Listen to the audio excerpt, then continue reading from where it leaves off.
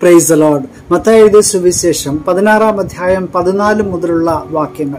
അന്ന് പന്തിരുവരിൽ ഒരുത്തനായ യൂത ഇസ്കര്യത്താവും മഹാപുരോഹിതന്മാരുടെ അടുക്കൽ ചെന്ന് നിങ്ങൾ എന്ത് തരും? ഞാൻ അവനെ കാണിച്ചു തരാം എന്ന് പറഞ്ഞു.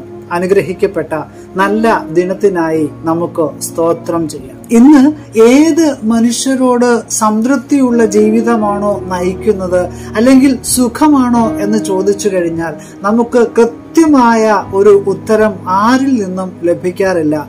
കാരണം ആഗ്രഹങ്ങളും നമ്മുടെ ഇഷ്ടങ്ങളുമൊക്കെ ഓരോ ദിവസം തോറും മാറി മറിഞ്ഞുകൊണ്ടിരിക്കുകയാണ്. ഒരാഗ്രഹം നാം നിറവേറ്റുമ്പോൾ മറ്റൊരാഗ്രഹം ഉണ്ടാവുകയാണ്. അങ്ങനെ സംതൃപ്തിയില്ലാത്ത ഒരു ലോകത്തിലാണ് നാം ജീവിക്കുന്നത്.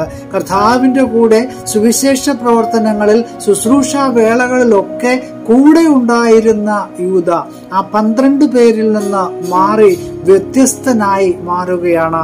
ഇവിടെ മഹാപുരോഹിതന്മാരുടെ അടുക്കൽ ചെന്ന് യൂത ചോദിക്കുകയാണ് എനിക്ക് എന്ത് തരും? പ്രിയമുള്ളവരെ നമുക്ക് എത്ര കിട്ടിയാലും മതിയാകാത്ത ഒരു ലോകത്തിലാണ് നാം ജീവിക്കുന്നത്. എന്നാൽ ലഭിച്ചതിനെ കുറിച്ച് ലഭിച്ച നന്മകളെ കുറിച്ച് ലഭിച്ച അനുഗ്രഹങ്ങളെ കുറിച്ച് അത് ഇത്തിരിയാണെങ്കിൽ പോലും നാം ദൈവസന്നിധിയിൽ നന്ദി പറയുവാനായിട്ട് മുതിർന്നിട്ടുണ്ടോ? ഒരിക്കലും ഇല്ല.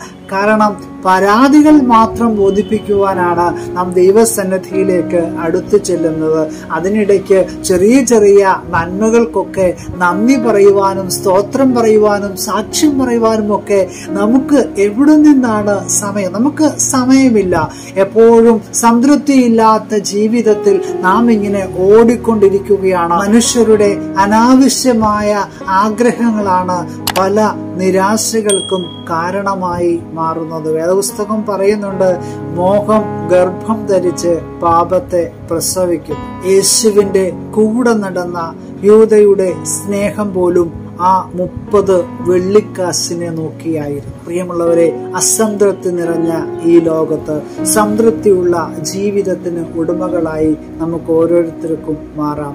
ലഭിച്ചതിനെ ഓർത്ത് നമുക്ക് നന്ദി പറയാം. ഉള്ളതിനെ ഓർത്ത് നമുക്ക് സ്തോത്രം പറയാം. അങ്ങനെ ഓരോ ദിവസവും സംതൃപ്തിയോടെ നമുക്ക് ഈ ഭൂമിയിൽ ജീവിക്കാം. പുതിയ ദിനം അനുഗ്രഹത്തിന്റെ നന്മയുടെ നല്ല ദിനമായി തീരട്ടെ എന്ന് പ്രാർത്ഥിക്കുകയാണ്. Have A blessed day